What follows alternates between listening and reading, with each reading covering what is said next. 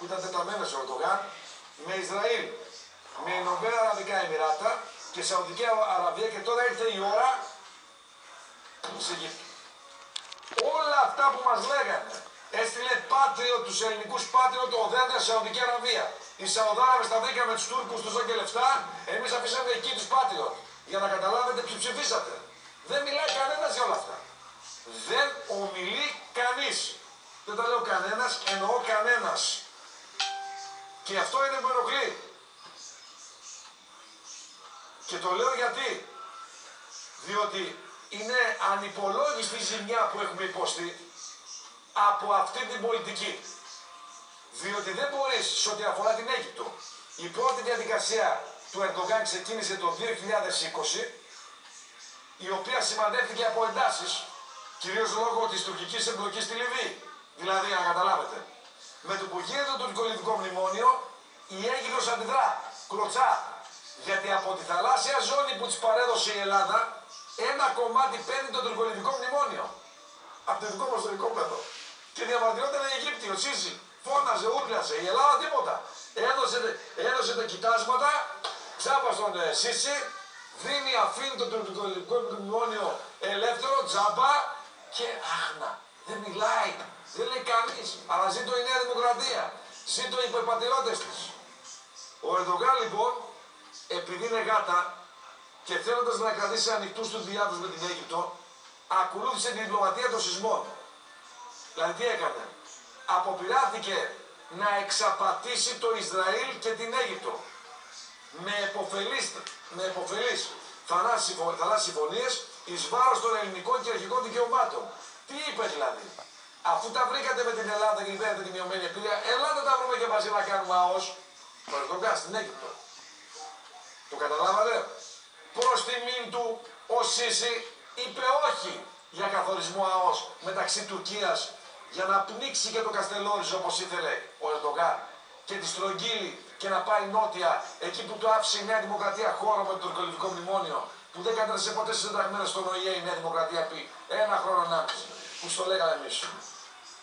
Αυτά όλα έγιναν.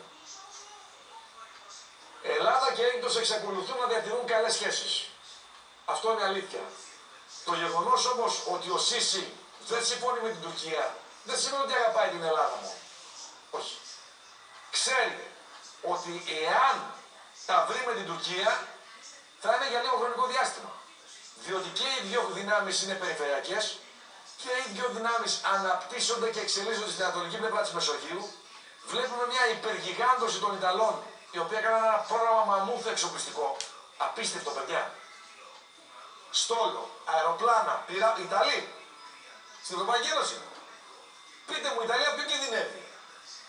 Και έχει κάνει ένα εξοπλιστικό πρόγραμμα απίστευτο δισεκατομμυρίων ευρώ και συμπαραγωγή. Αυτό είναι το σημαντικό. Συμπαραγωγή. Εδώ λοιπόν πρέπει να είμαστε πολύ προσεκτικοί. Δείτε πως η Ελλάς περικλείεται από εχθρικές χώρες. Όσο και να ακούγεται την περίοδο. Τουρκία είναι εχθρική χώρα. Η Βουλγαρία είναι ντεμή-ντεμή. Τα Σκόπια είναι εχθρική χώρα. Η Αλβανία του Ράμα είναι εχθρική χώρα. Η Ιταλία είναι εχθρική χώρα. Δείτε τη λαβίδα, πώς σχηματίστηκε γύρω από την Ελλάδα μια λαβίδα. Οι χώρες που έμειναν, η Λιβύη είναι εχθρική χώρα πλέον. Έμεινε μόνο η Αίγυπτος για διέξοδο. Το λέω από τώρα για να ξέρετε ότι ό,τι λέμε εμείς, μετά από μήνες το λένε κάποιοι άλλοι. Γιατί εμείς ως ελληνική λύση έχουμε και άποψη, έχουμε και γνώση, έχουμε και αντίληψη, έχουμε και κρίση περί του ποιου πράγματος οριοθετεί η Νέα Δημοκρατία και μας πηγαίνει πού; Μας πηγαίνει στο χειρότερο η Νέα Δημοκρατία. Με πλάτη των δίθεν πατριωτών, με πλάτη του Πασόκ, του ΣΥΡΙΖΑ και των υπολείπων κομμάτων. Μας πηγαίνουν στο χειρότερο. Σας το λέω για να το ξέρετε.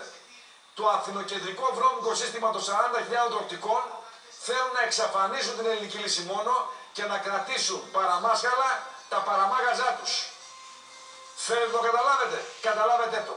Γιατί παραμάζα της Νέας Δημοκρατίας είναι και ο ΣΥΡΙΖΑ δυστυχώς τώρα και το ΠΑΣΟΚ. Είναι παραμάγαζά τους. Αυτά θέλουν να κρατήσουν.